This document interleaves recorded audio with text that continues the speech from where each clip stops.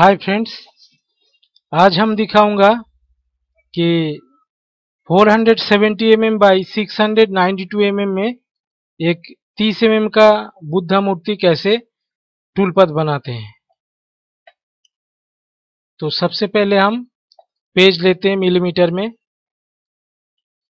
Width रहेगा 470 और height रहेगा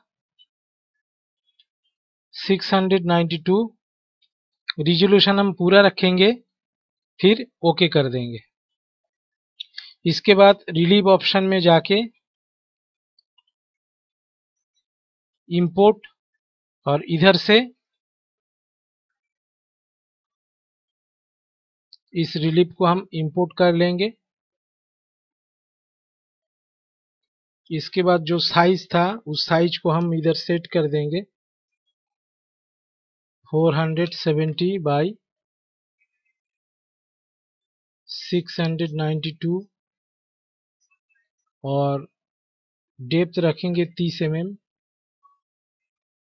फिर हम इसको सिलेक्ट करके F9 प्रेस करेंगे, फिर पेस्ट कर देंगे।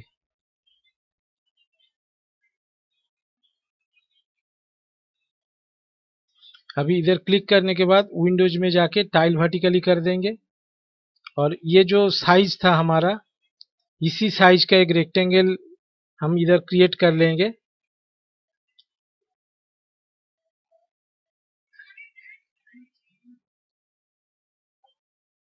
तो ये रेक्टेंगल सिलेक्ट करके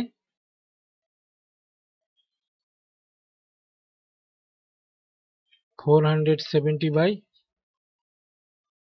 six hundred ninety two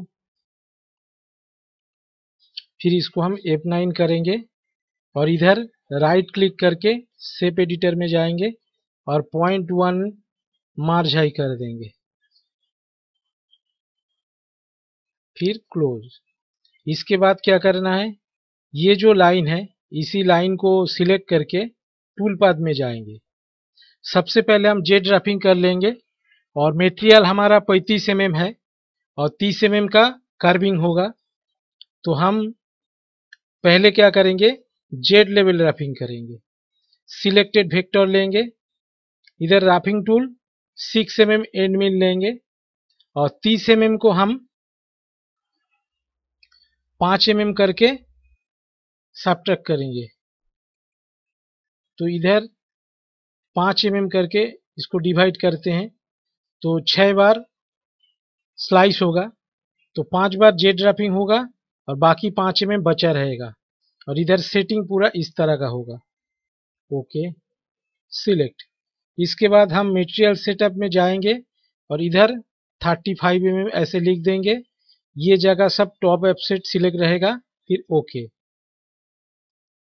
इसके बाद नाउ ऑप्शन पे क्लिक कर देंगे। ये स्लाइस बन गया। इसके बाद क्या करना है? असिस्टेंट में जाके ये जो स्मूथ ऑप्शन है होल लेयर में हम टू टाइम स्मूथ कर लेंगे।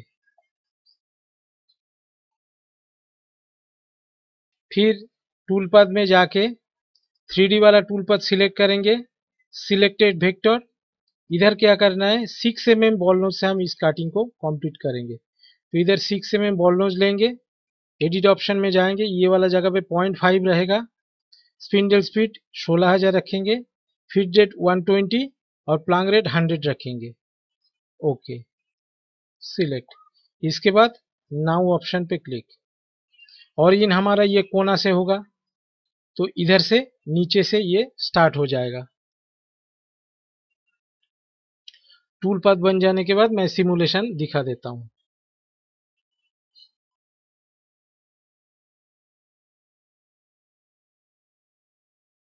ये वाला कंप्लीट होने के बाद हम सिमुलेशन चेक करेंगे।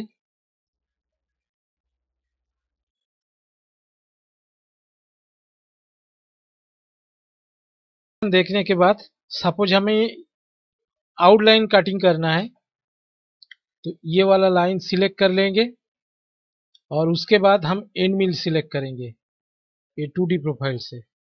और ये आउटसाइड सिलेक्ट रहेगा। पूरा पैंतीस एम हम नहीं काटेंगे। बत्तीस एम तक काटेंगे, नीचे तीन एम बचा रहेगा। उसको हम अलग सा बाद में जो जाली कटिंग मशीन होता है उससे काटेंगे। तो इधर हम बत्तीस एम रखते हैं। फिनिश डेप्थ और ये जगह में जाके एंड मिल सिलेक्ट करने के बाद इधर स्टेप डाउन देते हैं दो एम करके। फिर सेटअप में जाके ऐसे पैंतीस एम रहेगा। फिर नाउ ऑप्शन पे क्लिक कर देंगे।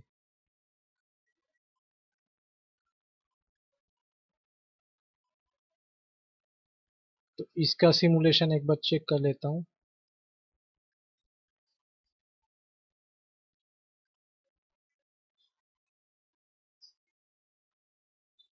तो इस तरह से ये डिज़ाइन पूरा कटिंग हो जाएगा। Thank you friends. Best of luck.